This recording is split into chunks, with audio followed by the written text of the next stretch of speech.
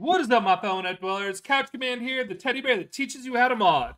Today we're looking at 7 Days to Die, obtained via Game Pass. Let's go ahead and jump right into it.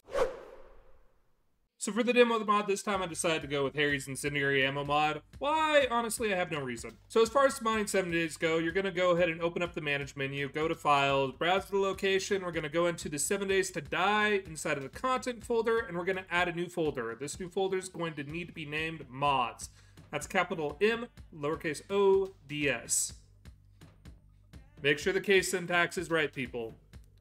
Now that we got mods created, let's go ahead and go to my downloads where I have that Harry's Incendiary mod. We're going to open up the zip file and go ahead and grab the Incendiary Ammo mod. Oop. And we're just going to go ahead and copy that. We're going to open our mods folder, paste it in here.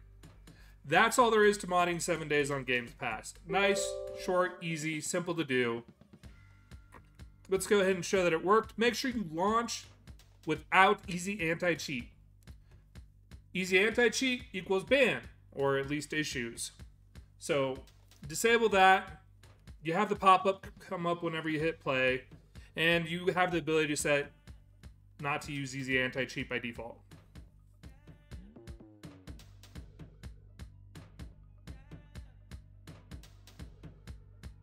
As far as showing this off, let's go ahead and load up a new game.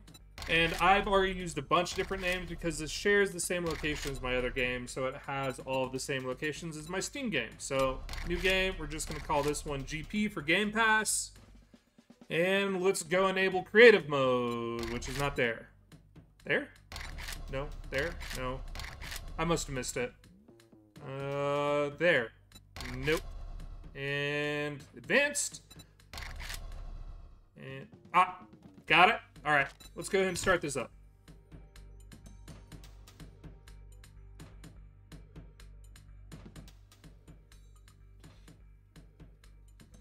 And loading. By the way, anytime you generate a new map with 7 days, depending on the map size, the load is a pain in the butt. I'm sorry.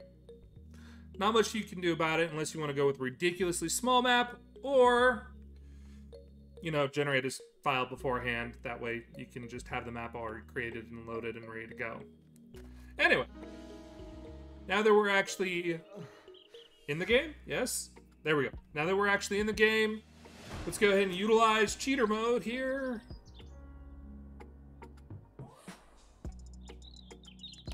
to actually get the incendiary ammo. That's why I did cheater. I don't really want to bother finding the drops. Instead, I'm going to go here, search incendiary.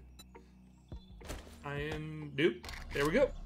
And there's the incendiary mod. Gives us a chance to burn zombies, convert your ammo into incendiary ammo. Let's go ahead and snag some guns. By the way, if you keep on typing, every time you type a letter, it changes the chance of what the gun's going to be. So if you want to get a six gun, just, you know, go forward a couple characters, delete a couple characters. Eventually you'll get to where you want to be. And I'm probably going to be using the MP5, but let's go ahead and get some ammo real quick. Now we've got enough ammo for everything. Let's go ahead and drop the mod on the MP5 and go find some zombies. By the way, the first time I started this up, I actually started up with zombie spawns turned off. And it took me like 10 to 15 minutes to finally figure out why on earth I couldn't find a stupid zombie in this game. Anyways, let's go ahead and just skip forward to where we actually find these things and see if we can't light some on fire. And the answer to that was no, no, I can't light any of these on fire. I shoot so many of these things, light them up, not a single one actually sparked up.